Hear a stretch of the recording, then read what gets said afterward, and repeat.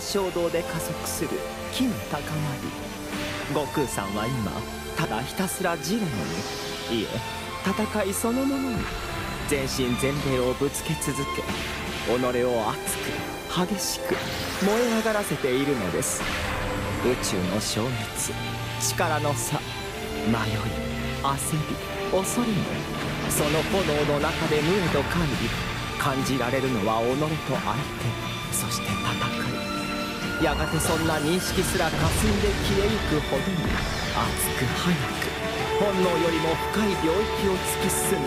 その先にこそ一体何